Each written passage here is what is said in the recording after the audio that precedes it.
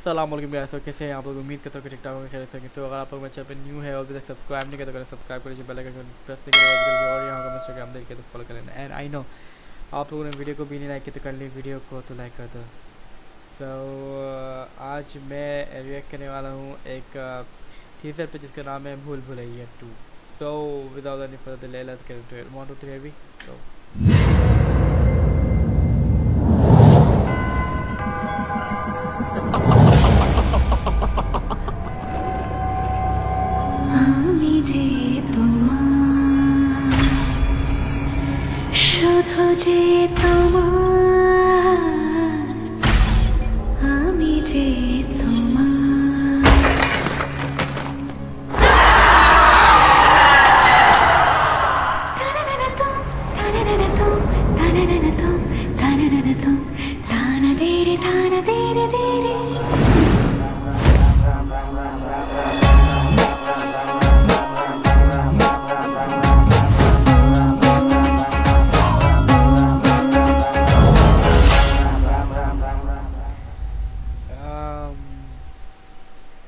ये जो भूल भुलैया है फ़र्स्ट वाले की भी अगर मैं बात करूँ तो ना, काफ़ी डरावना था और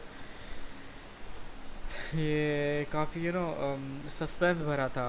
और at the same time Akshay Kumar की जो एंट्री थी पहले वाले की बात बता रहा हूँ। और um, उनकी जो एक्टिंग थी उनकी जो फ़नी सीन थे काफ़ी काफ़ी उस मूवी को ना काफ़ी उन्होंने ना यू नो हिट कराया। आ, तो अम, उम्मीद है कि ये भी मूवी वैसी होने वाली है।